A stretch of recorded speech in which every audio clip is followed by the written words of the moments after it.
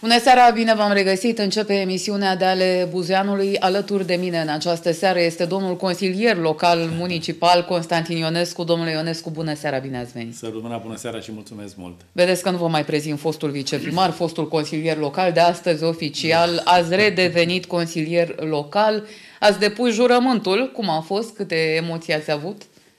Ei bine, la, cred că al cincilea sau al șaselea mandat, e o emoție de eveniment, dacă vreți, pentru că sunt obișnuit cu atmosfera, cu ședințe, cu întâlnirile din Consiliul Local, de partea, să spun, mai mult oficial a fost astăzi. Sigur, eu mă bucur că am reușit și am revenit în... După câți ani, domnul Ionescu? După un mandat care nu l-am avut. Doar patru ani, da? Da, exact.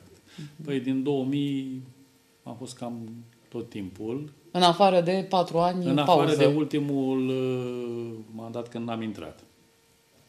Sigur, uh, îți capătă, dacă vreți, capeți o experiență, capeți um, cunoștințe de administrație, indiferent cu cât de multe pornești într-un mandat. Uh, sunt lucruri cu care m-am obișnuit. E loc de a învăța și de a te experimenta în fiecare zi, ceea ce nu am uh, respins niciodată faptul că poți să înveți indiferent de vârstă și indiferent de poziția pe care o ai. Uh, sunt, am observat că sunt colegi și noi în Mulți local, colegi noi, am văzut că unii noi, dintre ei cu emoții mari, a fost o doamnă care de-abia a reușit să spună da, jurământul. Sunt momente pe care un om le trăiește pentru prima dată și e normal să trăiești evenimentul în sine și atunci automat reacționezi ca și om, ai niște simțuri, niște reacții și mi se pare normal. Uh, a fost un cadru festiv. Astăzi s-au ales uh, și comisiile de specialitate și viceprimarul. O să vorbim și despre Sigur. alegeri, pentru că înțeleg că au fost și voturi împotrivă, chiar din partea dumneavoastră, dar înainte de toate urmărim câteva imagini de la ce s-a întâmplat astăzi la primărie. Cu excepția Oanei Matache, a lui Vasile Murguleț și a lui Irinel Cârstea, care au abstentat motivat, astăzi au depus jurământul consilierii aleși care vor forma noul Consiliu Local Municipal pentru următorii patru ani. Unii dintre ei au mai făcut parte și din Consiliul precedent, în timp ce alții sunt nou veniți, iar alții au revenit în CLM după mulți ani. Unul dintre noi consilieri este inginer, lucrează într-o multinațională și a fost susținut de un alt inginer de meserie, primarul Constantin Toma. Uh, a fost oarecum o pasiune. Uh, imediat ce am plecat la facultate, am uh, făcut parte din Partidul Social Democrat. Pe această cale țin să le mulțumesc colegilor mei din partid și în principal domnului primar, Constantin Toma, care și-a dat girul pentru mine și a fost o zi emoționantă care mă onorează și mă responsabilizează. Călin Iosif are state vechi în PSD și a revenit în Consiliul Local după 16 ani, Consiliu în care va reprezenta și Partida Romilor. Eu am rămas membru PSD, sunt membru PSD din 2000, dar în 2022 am devenit președinte al Partidei Romilor, organizație non-guvernamentală care are reprezentare parlamentară, și în anul electoral 2024 s-au încheiat niște acorduri politice cu Partidul Social Democrat, iar eu am fost desemnat din partea, partidului, din partea Partidei Romilor ca și consilier în cadrul Consiliului Local pe listele PSD. Comunitatea romă din Buzău are multe probleme pe care noul consilier intenționează să le aducă în atenția decidenților din primărie. Rând pe rând, toți consilierii aleși pe listele partidelor din care fac parte au depus jurământul și au intrat în componența noului Consiliu Local Municipal. Subsemnatul a fost Ionus Sorin, consilier local al Consiliului Local al Municipiului Buzău, în conformitate cu prevederile articolului 117 din Ordonanța de Urgență a Guvernului numărul 57 din 2019, privind aprobarea codului administrativ, cu modificările și completările ulterioare, depun în fața Consiliului Local următorul jurământ. Jur să respect Constituția și legile țării și să fac, cu bună credință, cu tot ceea ce stă în puterile și priceperea mea, pentru binele locuitorilor municipiului Buzău. Așa să ne ajute Dumnezeu. Semnata Aliman Veronica, consilier local al Consiliului Local al Municipiului Buzău, jur să respect Constituția și legile țării și să, cu bună credință, tot ceea ce stă, stă în puterile și pricep mea, pentru binele locuitorilor municipiului Buzău. Așa să-mi ajute Dumnezeu. Subsemnatul Baldovin Corneliu. Jur să respect Constituția și legile țării și să fac cu bună credință tot ceea ce stă în puterile și priceperea mea pentru binele locuitorilor municipiului Buzău. Așa să ne ajute Dumnezeu. Subsemnatul Drăgulin Florin, jur să respect Constituția și legile țării și să fac cu bună credință tot ceea ce stă în puterile și priceperea mea pentru binele locuitorilor municipiului Buzău. Așa să-mi ajute Dumnezeu. Subsemnata Gheorghiu Oana Ramona Cătălina, consilier local al Consiliului Local al Municipiului Buzău, jur să respect Constituția și legile țării și să fac cu bună credință tot ceea ce stă în puterile și priceperea mea pentru binele locuitorilor municipiului Buzău. Așa să ne ajute Dumnezeu. Subsemnatul Ionescu Constantin, consilier local al Consiliului Local al municipiului Buzău, jur să respect Constituția și legile țării și să fac cu bună credință tot ceea ce stă în puterile și priceperea mea pentru binele locuitorului municipiului Buzău. Așa să-mi ajute Dumnezeu. Semnatul Mare Strunculescu Aurelian Micail, jur să respect Constituția și legile țării și să fac cu bună credință tot ceea ce stă în puterile și priceperea mea pentru binele locuitorilor municipiului Buzău. Așa să-mi ajute Dumnezeu. Mareș Aurelian a fost desemnat președinte de vârstă al ședinței de constituire a noului Consiliu Local Municipal. Da, doar o parte dintre cei care au depus jurământul astăzi, am văzut, domnule Ionescu, deja ați învățat jurământul, îl cunoașteți, nu mai era nevoie să citiți.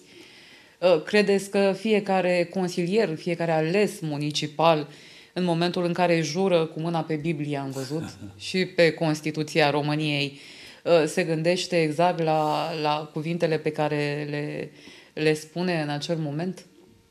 Eu da. Și pot să spun acest lucru pentru că zic eu că am demonstrat din anul 2000 de când am deținut o anumită funcție publică, da? a fost și viceprimar și consilier local.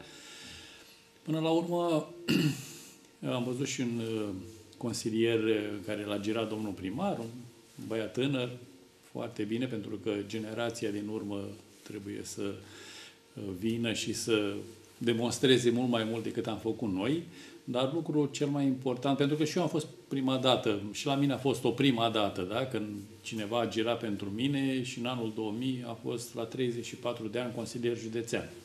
Și atunci, la momentul ăla trebuie să realizezi până la urmă semnătatea funcției, a votului, mai mult sau mai puțin te-a votat pe tine sau ai fost pe listă girat și propus de către cineva și să realizezi faptul că dacă vrei să ai o carieră politică de la un anumit nivel sau la, până la o anumită funcție, să, să stai pe picioarele tale și următorul mandat să-l iei pe numele tău, pe ceea ce ai făcut, pe cât te-ai implicat. Repet, și pentru mine ca și pentru ceilalți a existat și există o prima dată, când n nimeni nu se naște nici învățat, nimeni nu poate să ia voturi sau să aibă o notorietate de așa natură încât să obțină un mandat sau niște voturi care să-i permită să iasă independent sau să fie un candidat important pe o anumită listă. Dar mai departe, tot ceea ce trebuie să faci depinde de tine ca om în societate, în Consiliul Local, în cât de mult vrei să schimbi, așa cum a spus dumneavoastră, cât de mult crede cineva în ceea ce spune când citești acel jurământ. Dacă îl citești ca pe o poezie, fără să te pătrundă anumite lucruri și fără să ai senzația sau să crezi că cei care se uită la televizor, care te privesc și pe mine și pe ceilalți, te-au votat și au o speranță în tine ca persoană. Domnule, ai ajuns acolo, te-am votat pe mine, pe altul, pe altul, să faci în așa fel încât societatea să se dezvolte. Cei, cei care vin după noi să nu le mai dai posibilitatea să plece afară, pentru că asta este cea mai mare drama a României la momentul ăsta. Din ce în ce mai mulți aleg drumurile altor țări pentru a-și face un viitor, pentru a-și găsi, dacă vreți, o cale și o viață mai bună în care să trăiască. Și atunci, automat, ceea ce depinde de fiecare ține de cât de mult înțelegi tu acel vot și acea poziție pe care o ai la momentul respectiv. Spuneați că una dintre consiliere uh, reprezentantă a AUR uh, chiar a trăit 17 ani în Italia, a revenit da, doamna uh, de 3 ani în România. ați dat-o dumneavoastră și era emoționată profund de, de ce, de, în momentul în care depus jurământul, am aflat și eu la ședință, a povestit că uh, s-a revenit în țară în urmă cu 3 ani de zile și a trăit 17 ani în Italia, a muncit acolo, probabil că mare parte din viața și a desfășurat-o pe alte meleaguri, a trăit acolo. A... Oricum vine cu un model important uh, dintr-o Sigur, țară mai civilizată. Până la urmă, da. ceea ce înseamnă administrația și autoritatea într-o comunitate. Da? Are, în șap, sunt 17 ani totuși în care te-ai format sub o altă formă de administrație și felul în care ai trăit și ești respectat în acea comunitate. Și sper să fie un plus de valoare în Consiliul Local și să uh, încearcă, să încerce să transmită și celorlalți și nouă un anumit model și un anumit tip de comportament, dacă vreți. A fost uh, o ședință de investire cu foarte mulți invitați. L-am văzut pe înalt preasfințitul Ciprian, arhiepiscopul Buzăului și Vrancei, pe viitorul președinte al Consiliului Județean, domnul uh, Lucian Romașcanu, domnul prefect Daniel Țiclea, reprezentanții poliției, armatei, jandarmilor, de ce o prezență atât de numeroasă, șefa inspectoratului școlar? Bine, acum, fiind și un moment festiv, uh, fiind de constituirea unui Consiliu Local la nivelul reședință municipiului de județ, da? Și aici uh, sunt tot ceea ce înseamnă funcțiuni la nivelul județului Buzău, toate instituțiile publice ale statului care lucrează pentru, și pentru municipiu, dar aici și au sediu, cât și pentru întreg județul. Uh, au fost invitați pentru a participa la această investire și la formarea noului Consiliu Local. Sigur, așa se procedează la patru ani, ați văzut, în acest moment festiv, când uh, diverse, uh, diverse reprezentanți ale instituțiilor publice participă la astfel de eveniment.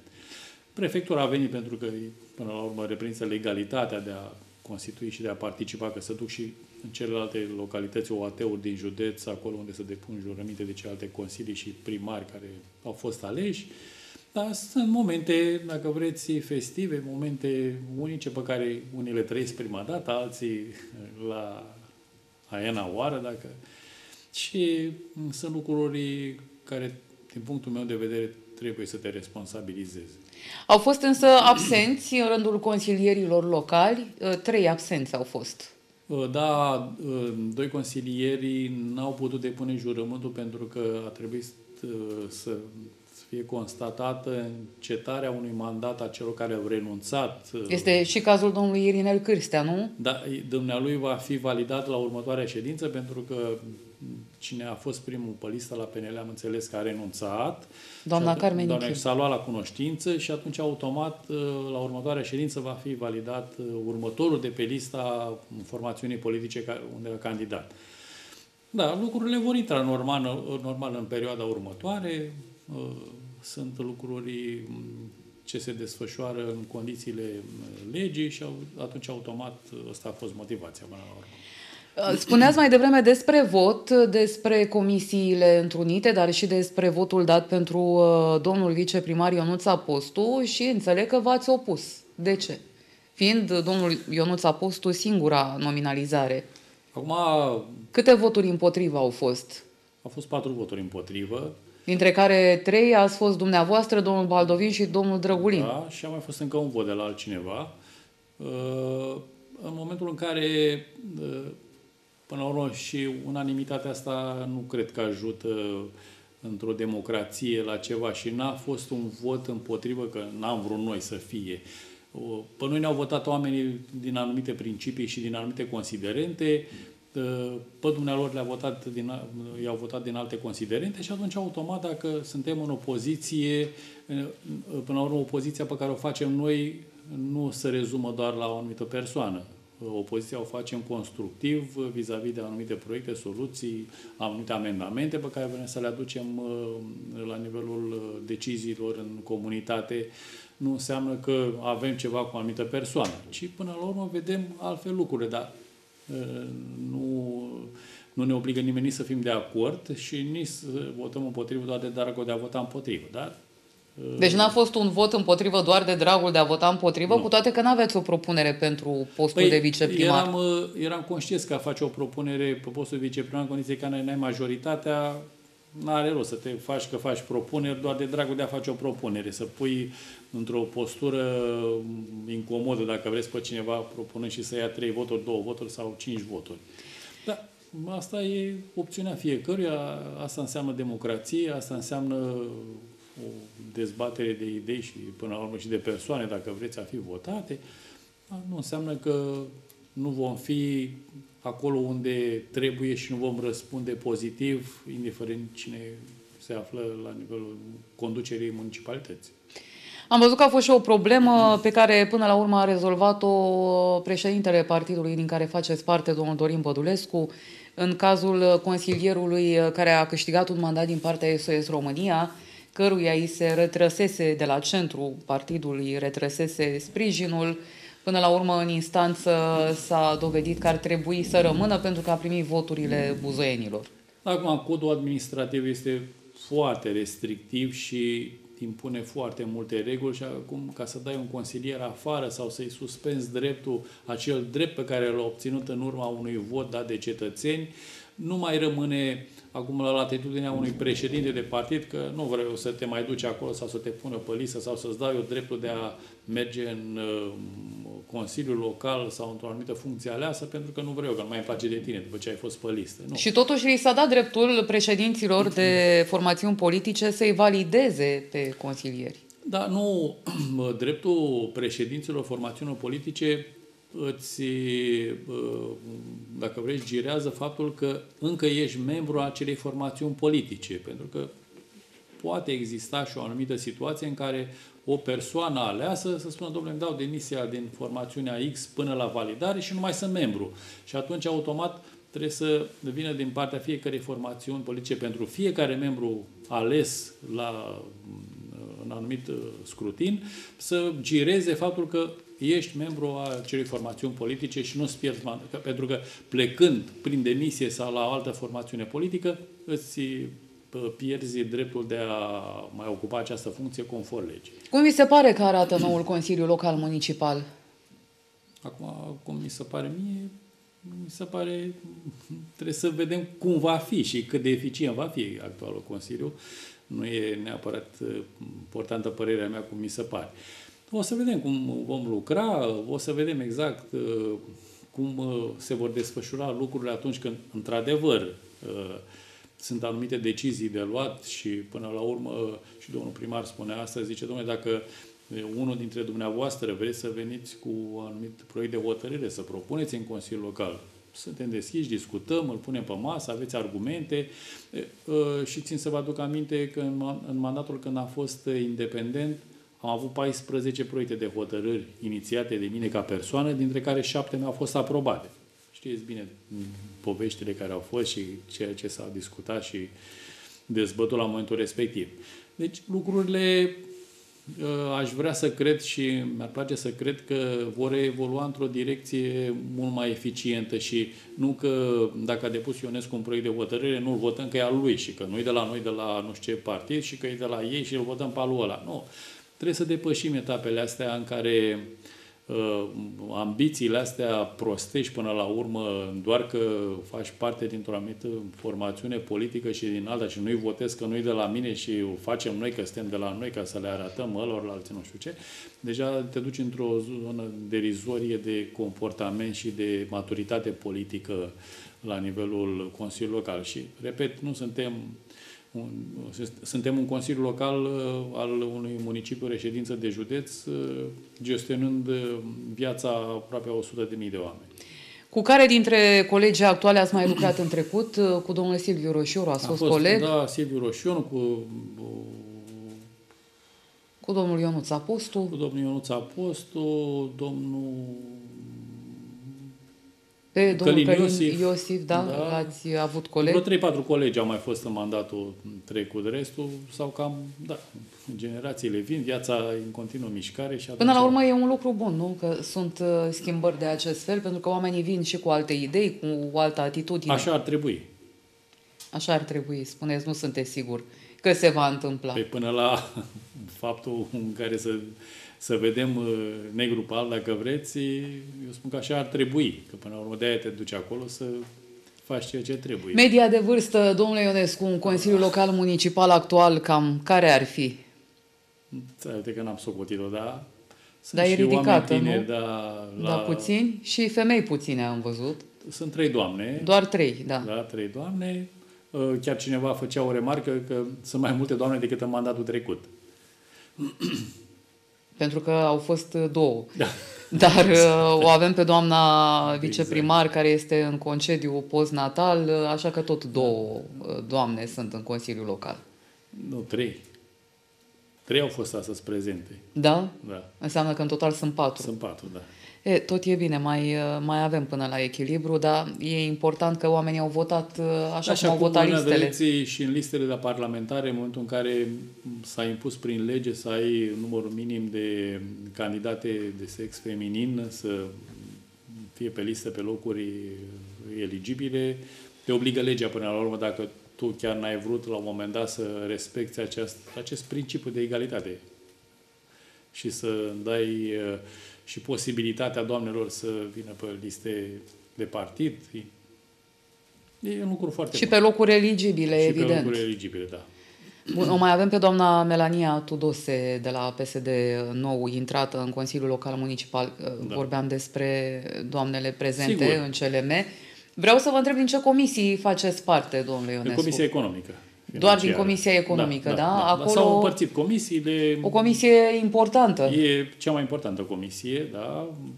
ceea ce înseamnă gestionarea banilor cetățenilor, modul în care sunt repartizați, cheltuiți, justificați până la urmă, pentru că nu sunt banii noștri. Și fac parte în această comisie cu colegul meu Florin Drăgulin și trei colegi de la PSD. Trebuie să ne oprim pentru o scurtă pauză de publicitate. Revenim în câteva minute. Continuă emisiunea de ale Buzeanului împreună cu domnul Constantin Ionescu. Vorbim uh, puțin despre ce se întâmplă și pe plan național, uh, mai ales că um, se apropie două tururi de al două runde de alegeri extrem de importante, alegem președintele României și alegem pe parlamentari și în contextul acesta, domnule Ionescu, în emisiunile trecute mi-ați repetat uh, dorința de a candida din partea uh, acestei alianțe care a fost uh, formată recent și din care face parte PMP, partid în care sunteți membru, v-ați uh, fi dorit să deveniți parlamentar, să candidați la alegerile parlamentare. Ce s-a întâmplat între timp de nu figurați nici pe lista pentru Camera Deputaților, nici pe lista pentru Senat? Da, eu la momentul respectiv uh, am și declarat și aici la dumneavoastră public și în partid că doresc uh, să candidez și să particip uh, la alegerile parlamentare, ținând cont de, hai să spunem, experiență, de notorietate, până la urmă, că e voturi dacă reprezinți ceva într-o comunitate, că așa o să te pună pe listă pe oricine, da. Ne-ați vorbit chiar și despre proiectele pe care le-ați Da, fi uh, exact. inițiat. Și am avut o discuție în partid cu domnul Bădulescu, am spus că dacă vrei să te ajut, pentru că dumnealui și-a exprimat dorința de a candida primul loc la deputați, să fiu după dumnealui, să-l sprijin, pentru că eram conștient că locul 2 foarte greu în mo- la momentul ăsta poate fi eligibil, dar e, ținând cont de faptul că doar noi doi am mai rămas, să spun așa, după uh, alegerile din vară, ca notorietate, ca implicare, ca experiență, dacă vreți. Și Asta pentru că profesional și USR-ul administrativ. s-a distanțat, S-a da. distanțat. O altă discuție și uh, partea asta de Alianța de Dreapta Unită.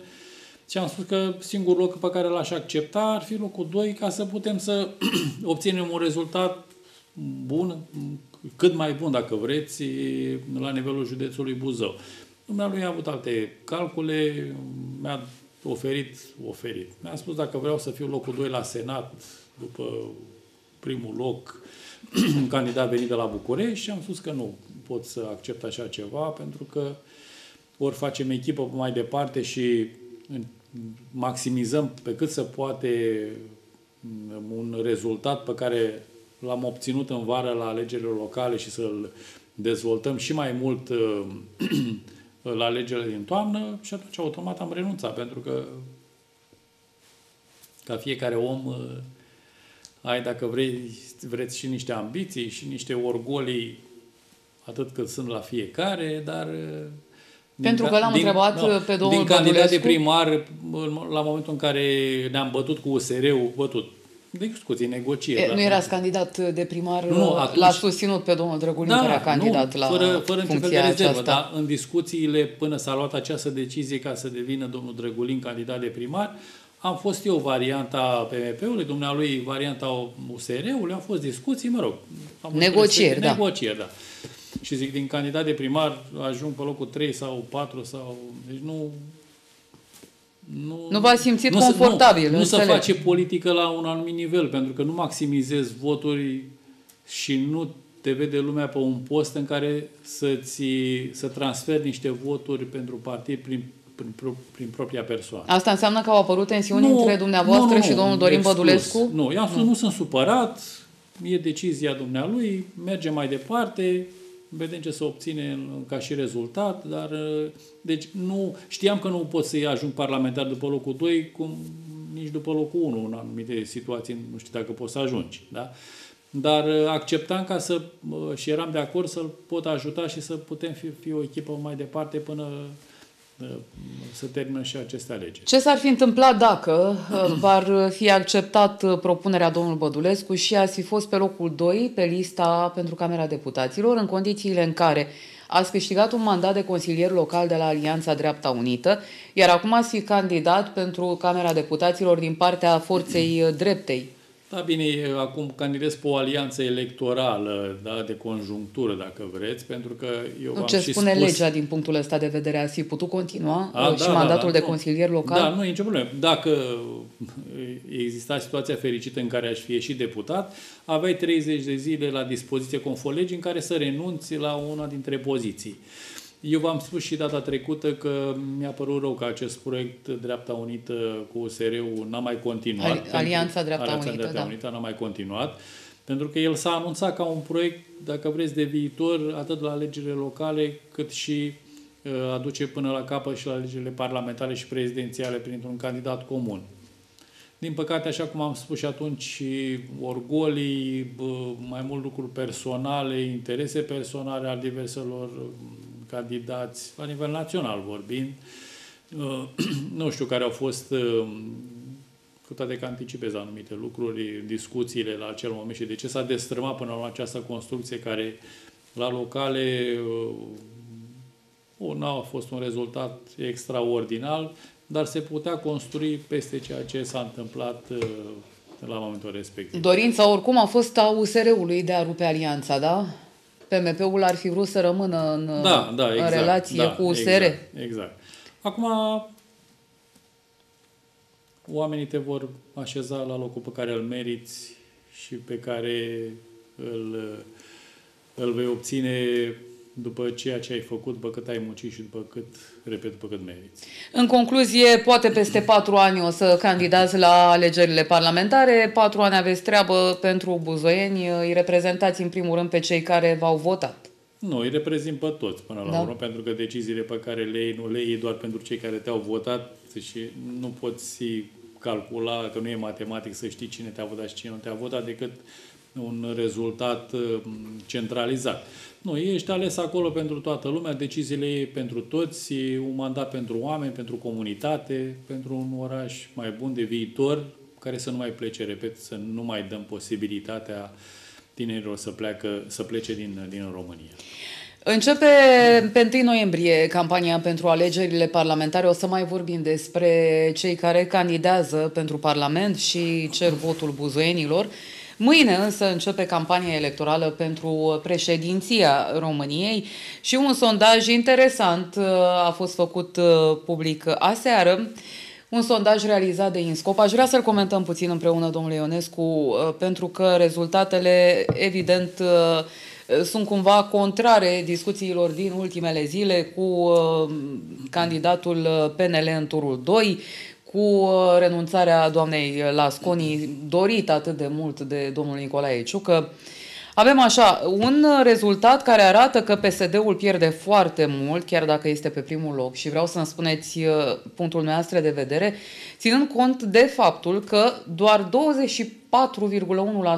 24,1% este procentul obținut de Marcel Ciolacu. Pe primul loc e adevărat, dar cred că un, niciun candidat din partea PSD la prezidențiale n-a mai avut un scor atât de slab.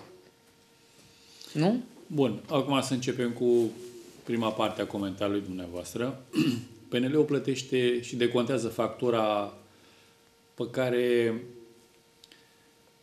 trebuie să o deconteze prin acea alianță cu PSD-ul și aducerea la guvernarea PSD-ului și pierderea masivă de credibilitate în rândul electoratului atunci când eu, altcineva, altcineva a votat PNL-ul să ajungă la guvernare, să formeze dreapta politică în România și tu ai trădat și ai ajuns să Spuneți că pierde PNL-ul, dar să fiu corectă, o să dau măcar primele cinci poziții din acest sondaj.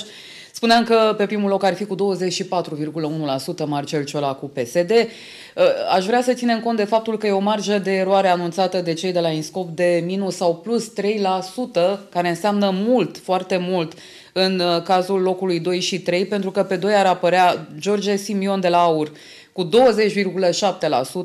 și cu 18,1%, adică doar 2% diferență Mircea Joană pe 3.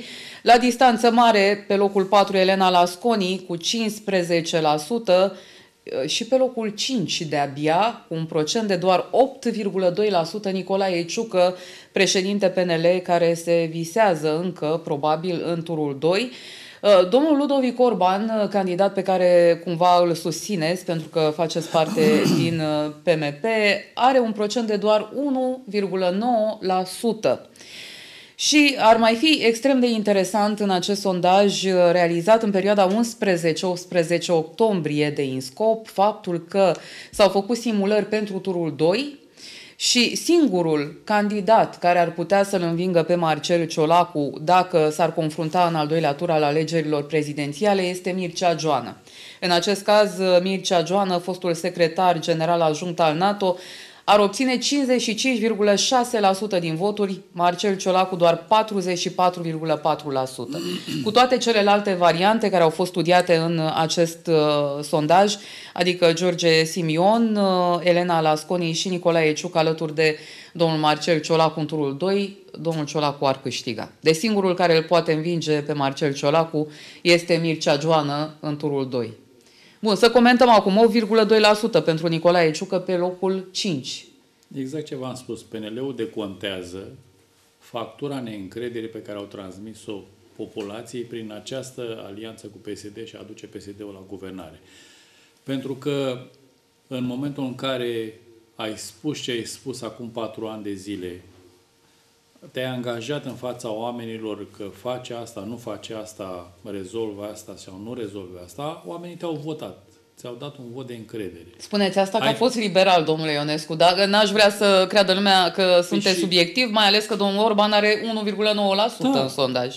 Domnul da. Orban, un vechi, foarte vechi politician și dumnealui la fel apare această rutină în politică, iar dacă oamenii Chiar dacă ești foarte vechi în politică și aduni un număr mare de ani în funcții publice, dacă nu lași în urma ta ceva foarte bun pentru oameni, uh, decizii foarte bune și nu ești perceput ca un om care într-adevăr uh, ai lăsat o urmă de uh, progres, dacă vreți, și de impact major asupra oamenilor, nu te mai regăsești și oamenii te sancționează. Sigur, repet, și această rutină apare, și uzura în politică, pentru că toți trecem prin aceste etape, vorbesc de cei care trec la nivelul respectiv de parlamentar, de miniștri, de președinți. Uitați-vă la Iohannis. Toată lumea l-a votat în primul tur că e modelul german de eficiență, de implicare, de ce vreți dumneavoastră de perfecțiune. Domnul Iohannis n-a fost președinte doar pentru un mandat, să reținem, da? N-a contat doar prima impresie. Uh, eu vorbeam de prima impresie, dar da. și a doua oară uh, s-a votat, dacă vreți, rău cel mai mic, cum spunem noi, da? prin competiția cu Victor Ponta. Și atunci au avut oamenii tot partea dreaptă a eșicherului politic.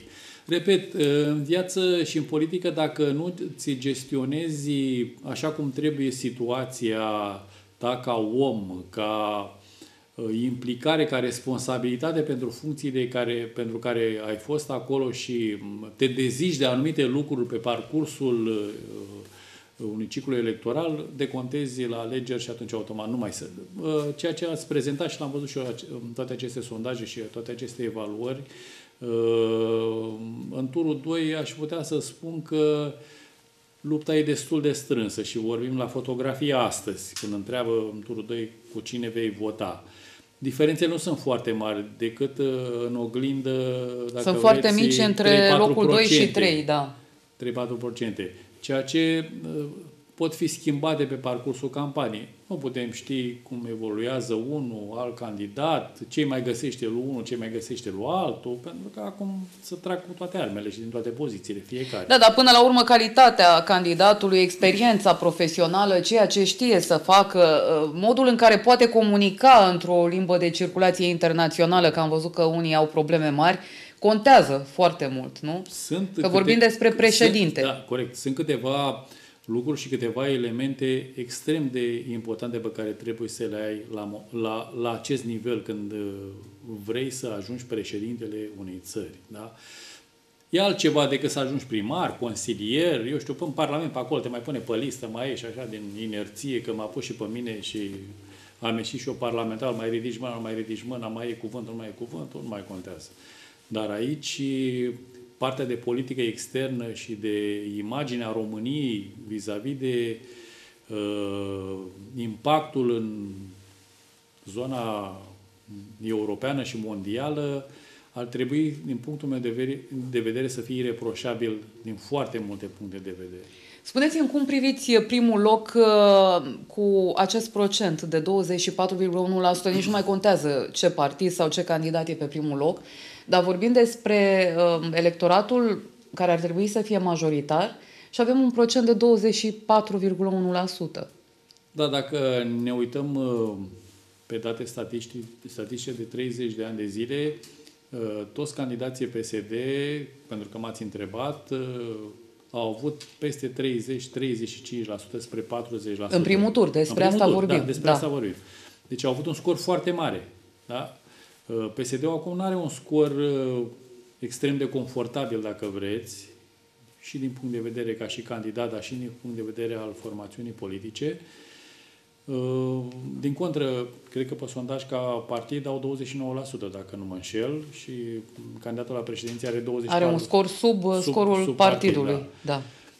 Iar, iar la ceilalți candidați, diferența este invers. Candidatul are mai mult și partidul are mai puțin. Bine, uh, menționăm faptul că domnul Mircea Joana este independent, nu da. are legătură cu la un partid PNL politic. La fel, uh, partidul are peste domnul Ciucă. Era și normal odată ce domnul Ciucă are 8%, 8,2%. Da. da. Repet, aici oamenii te sancționează. Dacă crezi că poți minți odată și să nu te contezi, pentru că PNL-ul se adresează unui electorat de dreapta da? unui electorat ca, în care oamenii așteaptă niște măsuri privind, dacă vreți, siguranța unei afaceri, siguranța unui loc de muncă, taxe, impozite, uh, mediul de afaceri. Uh, sunt oameni care așteaptă niște lucruri mult mai palpabile decât partea social-democrată. Da? Vedem că și nu are nimeni nimic cu nimeni Partea social-democratică pedalează foarte mult pentru că mărim ajutoarele, dăm un leu colo, mai mărim un 10% dincolo, mai dăm 3 lei pentru cei care vin din străinătate și nu știu ce. Lucruri de genul acesta, în condiții în care s-au mărit taxe și impozite și astea le-au făcut împreună și PNL și PSD. Păi asta voiam să spun că până la urmă doar cine guvernează țara poate lua astfel de măsuri, că un candidat care nu face parte din nicio echipă da. de decizie nu poate influența în niciun fel și e bine să facem diferența. Uh, dar uh, mai rese ceva din acest sondaj realizat de INSCOP, faptul că prezența la vot ar fi de aproximativ 55% la primul tur al prezidențialelor. Prezența la vot 55% prin sondaj, pentru că pe mine, prin sondaj, da. pe mine mă sună acasă și te duci la vot, mă duc. Dar faptic, în momentul respectiv, în ziua votului, ați văzut că întotdeauna procentul de prezență la vot se duce la 40%. Deci vorbim de o diferență de 60% al electoratului care nu se duce la vot. Și aici dacă un candidat nu reușește să-i trezească, pentru că posibilitatea de a crește ca număr de voturi există, dar dacă nu trezești interesul oamenilor care chiar să duc pentru un anumit motiv și nu pentru un anumit avantaj, atunci nu-i câștigi și oamenii o să duc la vot. Important este și faptul că în diaspora votul va dura trei zile, atât pentru președinte cât și pentru Parlament. Da, e foarte bine, pentru că în diaspora secțiile de vot nu sunt ca la noi în colțul străzii, cobor, faci 5 minute. Acolo oamenii fac zeci, sute de kilometri unde sunt organizate secții de votare, e, presupune un efort mai mare și financiar și de timp din partea celor care trăiesc în străinătate. Sunt oameni care muncesc, sunt oameni care nu pot pleca să facă 200 de kilometri până la o secție de votare, să piardă o zi și jumătate să voteze. Și ăsta e un lucru bun pentru că oferă posibilitatea de a vota pe o perioadă de timp mai lungă ca să, să poți să ajungi în perioada asta celor trei zile. Ce se va întâmpla vom descoperi. Spuneam că de mâine începe campania electorală da, pentru descoperi. alegerile prezidențiale. Pe 1 noiembrie începe campania pentru alegerile parlamentare și o să încercăm să vorbim cu toți cei care uh, vor candida, astfel încât să înțelegem ce își doresc pentru viitorul României. Nu? nu știu ce vor face pentru viitorul României. Că ce îți doresc ne dorim toți, dar important este să te pricep să faci. Și important pentru dumneavoastră acum este ce își doresc buzoienii, pentru că v-ați gândit deja la proiecte pe care le veți depune în Consiliul Local Municipal, ni le-ați prezentat pe câteva dintre ele și o să vorbim despre toate la Sigur momentul da. oportun. Vă mulțumesc mult, domnule Ionescu, pentru și că ați venit drag. și mă bucur că sunteți din nou în Consiliul Local Municipal. Spor la treabă! Mulțumesc mult! Vă mulțumim și dumneavoastră pentru că ne-ați urmărit. Seară bună, la revedere!